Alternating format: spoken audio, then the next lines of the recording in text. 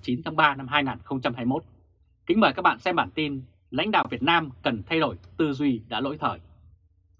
Cục diện thế giới mới trong năm qua và đối trọng quan hệ giữa Việt Nam và Trung Quốc ở Biển Đông cho thấy sự hiện diện của Hoa Kỳ là một yếu tố bản lề cho Việt Nam lấy lại phần nào vị thế yếu ớt, bị chèn ép và có nguy cơ mất hoàn toàn chủ quyền ở Biển Đông vào tay Bắc Kinh.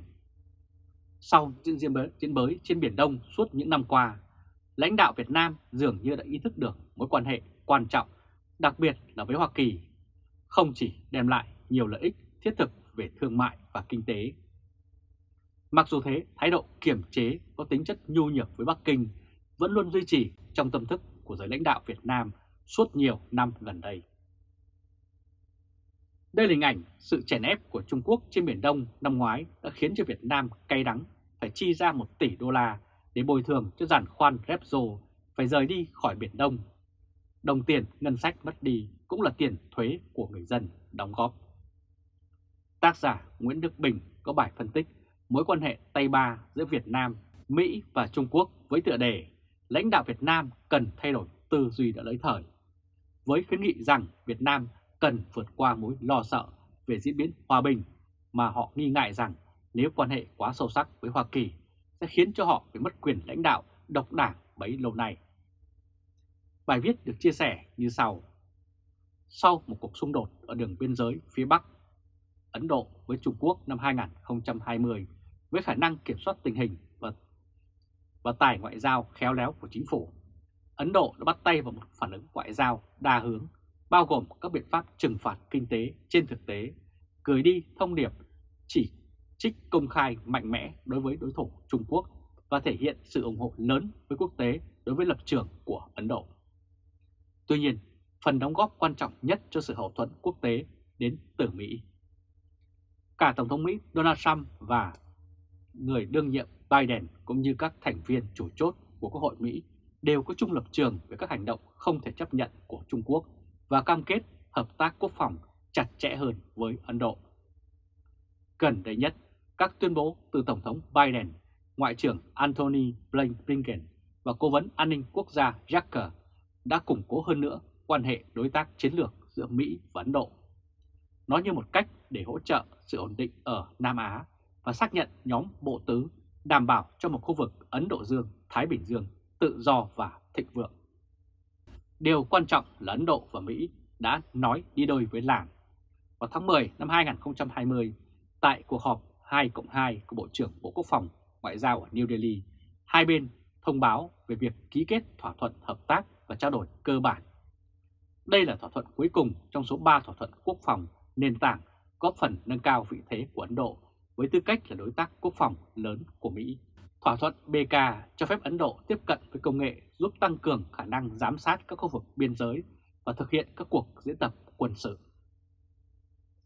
Đây là hình ảnh Thủ tướng Ấn Độ Modi và Tổng thống Mỹ Donald Trump. Hai nước cũng đã mở rộng hợp tác quân sự để họ có thể phát huy sức mạnh trên nhiều mặt trận. Vào tháng 11 năm 2020, Ấn Độ, Mỹ và Nhật Bản đã hoan nghênh Úc tham gia cuộc tập trận hải quân Magla, lần đầu tiên tập hợp tất cả các thành viên của nhóm bộ tứ tham gia một cuộc tập trận nhằm hỗ trợ tầm nhìn chung Ấn Độ Dương-Thái Bình Dương. Những hoạt động mô phỏng này đã nâng cao khả năng của quân đội cùng hành động chống lại kẻ thù chung trên biển. Đối với Trung Quốc, thông điệp là rất rõ ràng. Mỹ nhất trí ủng hộ việc tăng cường khả năng của Ấn Độ trong việc bảo vệ biên giới của họ và bảo vệ khu vực Ấn Độ Dương-Thái Bình Dương. Và Ấn Độ đã chấp nhận những nỗ lực của Mỹ nhằm nâng cao sức mạnh của mình trên nhiều vùng địa lý khác nhau. Quan hệ giữa Việt Nam và Mỹ thì vẫn bị kẹt bởi tư duy hết sức lỗi thời.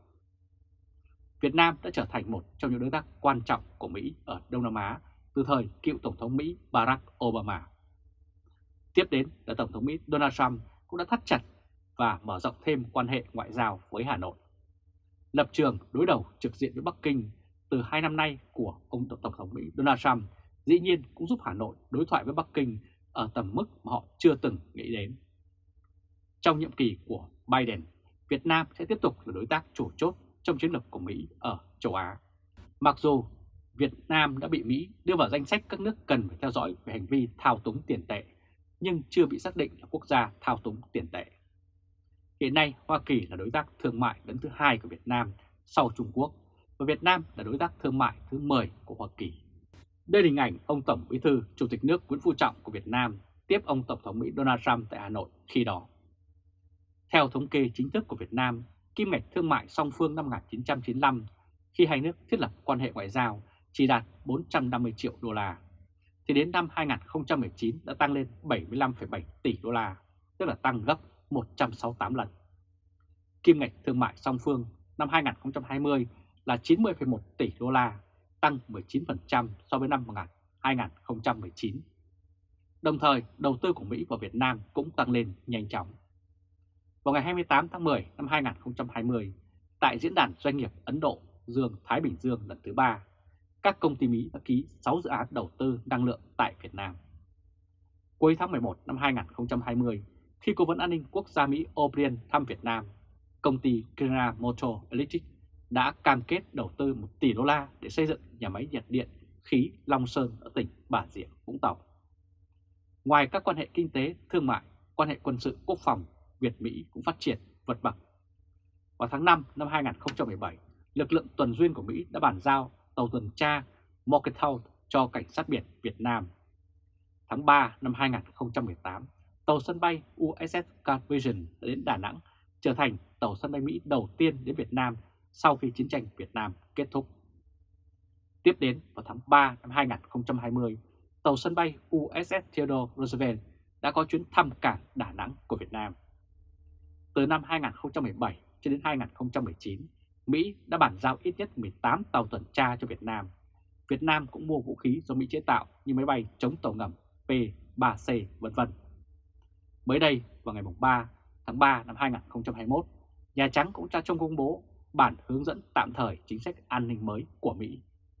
Trong bản hướng dẫn này, Việt Nam có được đề cập đến như là một đối tác ở Đông Nam Á, Washington sẽ tiếp tục đẩy mạnh thêm mối quan hệ chiến lược giữa hai bên. Trong chiến lược toàn cầu của Mỹ, đặc biệt trong chiến lược đối phó và kiểm chế Trung Quốc. Chính quyền của Tổng thống Mỹ Biden cũng khẳng định Trung Quốc là một quốc gia cạnh tranh và thách thức quyền lợi, trật tự của Mỹ, và Mỹ sẽ quay lại chủ nghĩa đa phương với nguyên tắc liên kết cùng các đồng minh và đối tác để đối phó với Bắc Kinh. Ngoài ra, Nhà Trắng cũng khẳng định rằng Mỹ sẽ giúp đỡ các nước láng giềng và đối tác thương mại của Trung Quốc giữ vững nền độc lập của họ. Đây là hình ảnh hàng không mẫu hạm Hoa Kỳ Theodore Roosevelt đã đến thăm cảng Đà Nẵng hồi tháng 3 năm 2020. Tuy nhiên, quan hệ giữa Việt Nam và Mỹ đáng lẽ ra sẽ còn phát triển nữa, nhưng trong một báo cáo mới đây do Viện Nghiên cứu Chính sách Công của Quốc hội Mỹ cho biết rằng tốc độ và mức độ cải thiện trong quan hệ song phương giữa hai nước còn bị hạn chế bởi một số yếu tố. Thứ nhất đó là chính là sức ép đe dọa từ Trung Quốc. Nhiều lãnh đạo Việt Nam vẫn luôn nghĩ rằng không nên tiến sát đến Hoa Kỳ quá nhiều bởi vì Trung Quốc không muốn vậy và Việt Nam không được chọc giận Trung Quốc. Đặc biệt là yếu tố thứ hai chính là nhiều lãnh đạo Việt Nam vẫn nghi ngờ rằng mục tiêu lâu dài của Hoa Kỳ là thấy được sự chấm dứt độc quyền lãnh đạo của lực Đảng Cộng sản Việt Nam thông qua diễn biến hòa bình. Diễn biến hòa bình là một khái niệm xuất phát từ Trung Quốc. Tư duy này của Trung Quốc dùng để chống lại ảnh hưởng từ các giá trị và thể chế phương Tây. Chính vì vậy, tư duy về diễn biến hòa bình là tư duy lỗi thời của Trung Quốc, nhằm đề cao chủ nghĩa dân tộc, phủ nhận các giá trị quan trọng của nhân loại như tự do và dân chủ. Lịch sử nhân loại đã chứng minh rằng các giá trị tự do và dân chủ có vai trò quan trọng để kiểm soát quyền lực, đề cao những giá trị của con người, chống lại áp bức, tham nhũng và cường quyền. Chính vì thế, các lãnh đạo Việt Nam cần thay đổi tư duy về diễn biến hòa bình, học theo Ấn Độ để thúc đẩy quan hệ của Việt Nam với Mỹ và các nước phương Tây, tạo đà để đưa Việt Nam trở thành một cường quốc tầm trung. Từ đó mới có thể thoát khỏi sự lệ thuộc vào Trung Quốc. Tân Bộ trưởng Bộ Ngoại giao Hoa Kỳ cũng điện đàm lần đầu tiên với người đương nhiệm tại Việt Nam. Ông Antonio Blinken, Ngoại trưởng Hoa Kỳ. Tân Bộ trưởng Bộ Ngoại giao Hoa Kỳ Antonio Blinken vào ngày 4 tháng 2 đã cuộc điện đàm với người đương nhiệm Việt Nam Phạm Bình Minh. Văn phòng phát ngôn của Bộ Ngoại giao Hoa Kỳ cũng ra thông báo trong cùng ngày theo giờ Đông nước Mỹ nêu, nêu trên.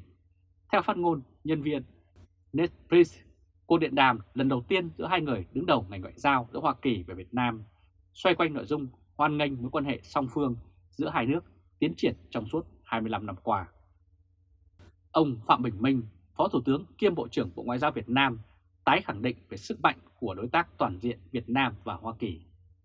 Hai vị Bộ trưởng cũng thảo luận về cam kết chung đối với hòa bình, thịnh vượng cho vùng Ấn Độ Dương, Thái Bình Dương, tự do và rộng mở, cũng như bảo vệ và duy trì một khu vực Biển Đông dựa trên căn bản của pháp luật. Tiến sĩ Hoàng Hợp, nhà nghiên cứu cao cấp thuộc Viện Nghiên cứu Đông Nam Á ở Singapore nhận định về cuộc điện đàm này như sau. Cuộc điện đàm giữa Ngoại trưởng Mỹ Antonio Blinken và Bộ trưởng Bộ Ngoại giao Việt Nam ông Phạm Bình Minh không có nội dung gì đặc biệt cả. Chỉ là tái khẳng định sự hợp tác làm sao đảm bảo được hòa bình và an ninh trong khu vực, mở rộng tại châu Á và Thái Bình Dương, Ấn Độ Dương. Sự hợp tác này vẫn tiếp tục theo chính sách trước đây của Tổng thống Barack Obama và thêm nữa là chính sách thời Tổng thống Donald Trump. Tổng thống Biden sẽ quay về chính sách trước đây của chính quyền ông Obama đã định ra, tức là chính sách tái cân bằng. Đồng thời sẽ tiếp tục theo chính sách mà chính quyền ông Trump nêu ra vào hồi năm 2017. Do đó, chính quyền của ông Biden sẽ theo đuổi chính sách mạnh hơn so với thời ông Obama nhưng nhẹ hơn so với thời chính sách của ông Trump. Tức là chính quyền của ông Biden không nói lặng lời như thời ông Trump và cũng không làm những việc chỉ nhắm vào Trung Quốc mà thôi. Quý vị và các bạn vừa theo dõi chương trình truyền hình trực tiếp của Lê Trung Khoa, Thời báo chấm ngày hôm nay thứ ba ngày 9 tháng 3 năm 2021 với bản tin Lãnh đạo Việt Nam cần thay đổi tư duy đã lỗi thời. Quý vị và các bạn hãy chia sẻ video này cho nhiều người biết và bấm nút theo dõi YouTube và Facebook của Thời báo chấm để luôn được cập nhật những bản tin mới nhất, nhanh nhất và trung thực nhất. Từ Berlin, Cộng hòa Liên bang Đức chào các bạn và hẹn gặp lại các bạn ở bản tin lần tới. Trung Khoa Thời báo chấm